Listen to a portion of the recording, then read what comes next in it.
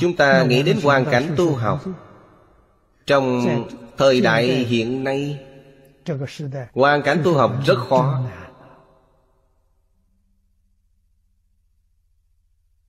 Chướng ngại rất lớn. Tập khí phiền não bên trong, Bên ngoài, Ngũ dục lục trần mê hoặc.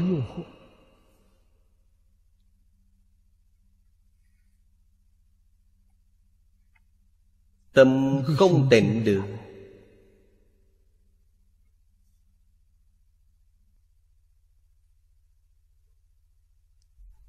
Cảm ứng nhất định là tâm thanh tịnh tịch diệt.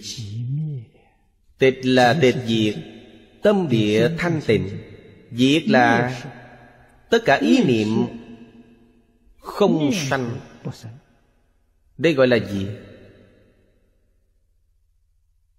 Chúng ta thường nói khởi tâm động niệm đã diệt, Không khởi tâm động niệm.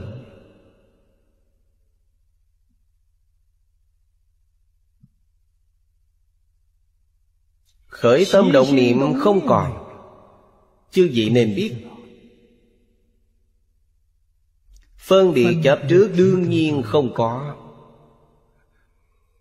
Phân biệt chấp trước là niệm thô. Khởi tâm động niệm là niệm di tế. Ý niệm di tế đều không còn, Niệm thô đương nhiên không còn. Đây là Cảnh giới của thiên định. Thiên định là gì? Là tự tánh bổn định. Khi Đại sư Huệ Năng khai ngộ nói, Đâu ngờ tự tánh vốn không dao động. Đó chính là tự tánh bổn định.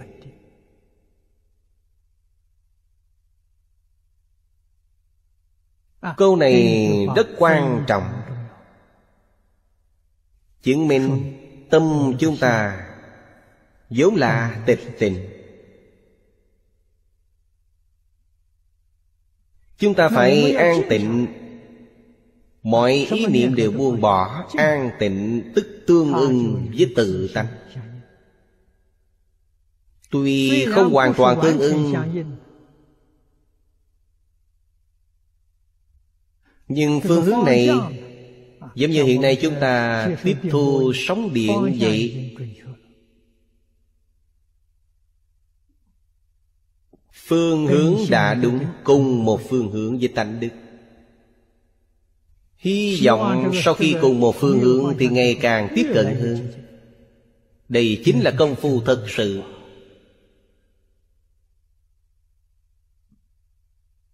Tôi thường khuyến khích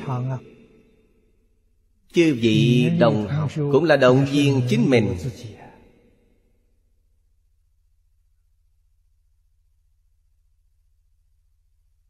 Nhà Phật đặc biệt là Phật Pháp Đại Thừa Nói về công phu chính là buông bỏ.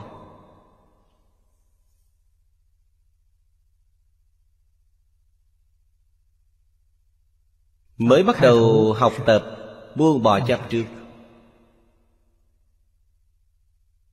Đối với người không chấp trước Đối với sự cũng không chấp trước. Đối với tất cả dạng vật cũng không chấp trước. Đối với Phật Pháp cũng không thể chấp trước Như vậy là đúng. Tiếp tục buông bỏ phân biệt Buông bỏ khởi tâm động niệm. Đầu tiên buông bỏ từ thô Dần dần cũng buông bỏ di tị Như vậy là kiên tánh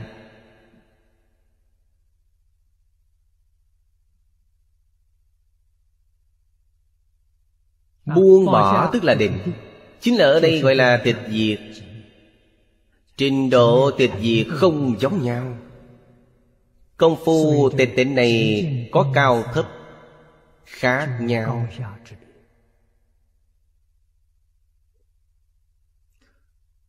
Chuyển Pháp Luân Là giảng kinh thuyết Pháp, Giáo hóa chúng sanh.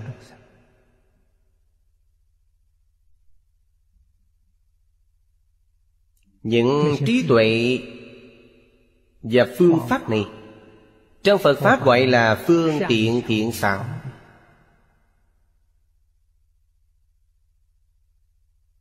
Hiệu quả và kinh nghiệm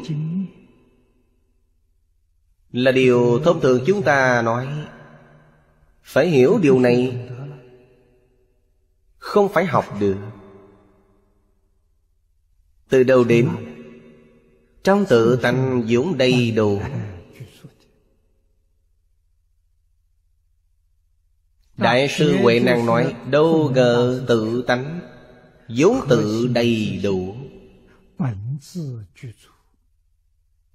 Đây là tự tánh vốn có Đầy đủ điều gì? Như chúng ta vừa mới nói.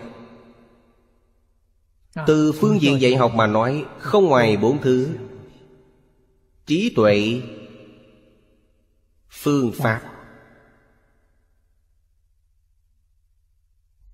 Hiệu quả Kinh nghiệm Không ngoài những thứ này. Đây là tánh đức Không phải cầu được từ bên ngoài.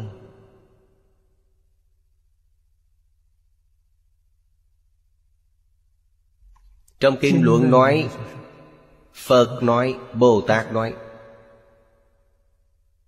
Các bậc thánh hiền thế gian nói. Các chuyên gia học giả hiện đại nói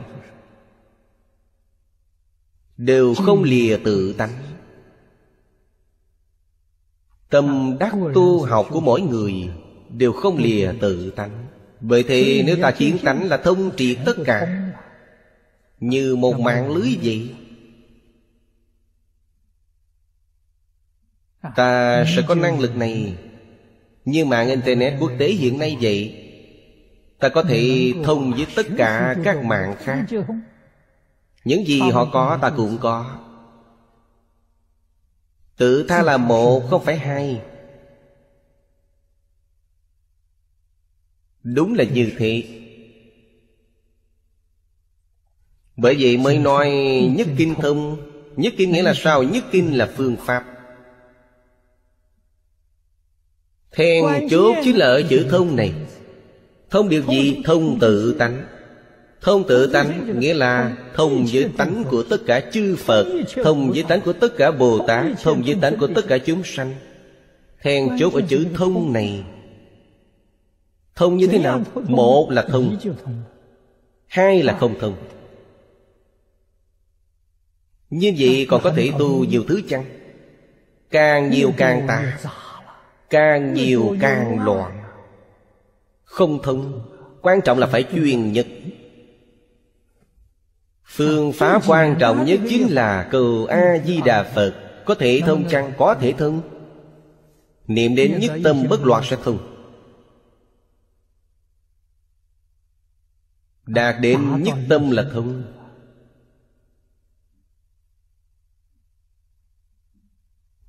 Quý vị xem giáo thừa Pháp số. Điều thứ nhất chính là nhất tâm Không thể nghĩ bàn.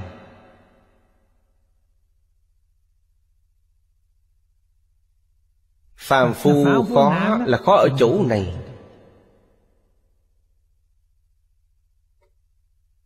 Không giữ được chuyên nhất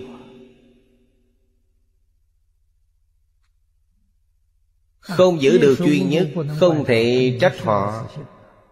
Vì họ mê thất tự tánh. Trong cuộc sống hàng ngày Họ khởi tác dụng gì? Ba tâm hai ý. Phàm phu lục đạo toàn là Ba tâm hai ý. Ba tâm. Trong giáo lý Đại Thừa nói là A lại gia, mạc na, ý thức Gọi là ba tâm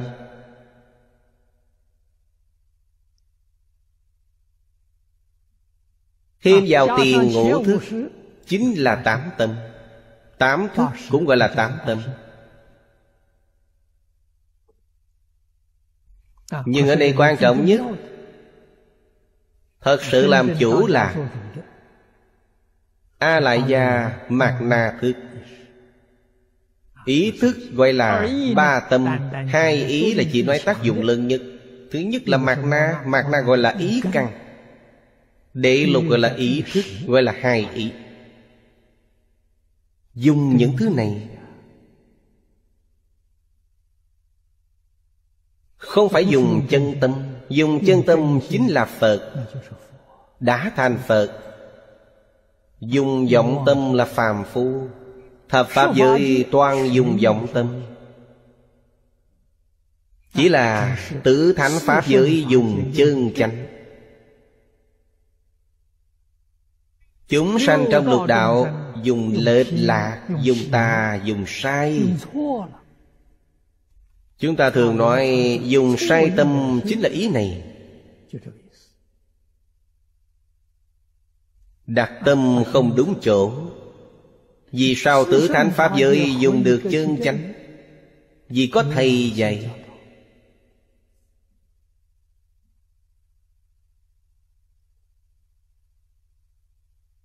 Chư Phật Bồ Tát ứng hóa trong tứ thánh Pháp giới. Trong đó đều là học sinh hiếu học. Mọi người đều thành thật Nghe lời Y giáo phụng hành. Học sinh tốt Dễ dạy.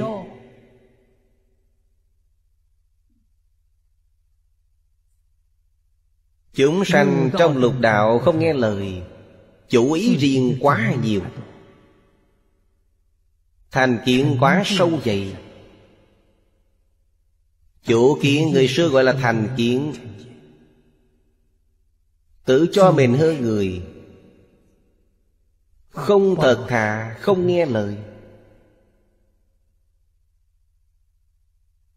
Bởi vậy rất khó dạy. À, vì trái giới tự tánh. Tạo ra vô lượng vô biên tội nghiệp. Những tội nghiệp này cũng có cảm. Pháp tướng có ứng. Pháp tướng có ứng. Cảnh giới này là tâm hiện Thức biến Hiện nay các nhà lượng tử lực học đã phát hiện. Họ nói thế gian căn bản không có thứ gì gọi là vật chất tồn tại. Không thừa nhận có vật chất tồn tại, Kiến giải của họ với khoa học hầu như Hoàn toàn tương đồng. Với duy thức học không thừa nhận thế gian này của bất kỳ thứ gì tồn tại. Họ nói chỉ có thức Thức là năng biến. Hết thảy mọi hiện tượng là sở biến. Năng biến là thật, sở biến là giả.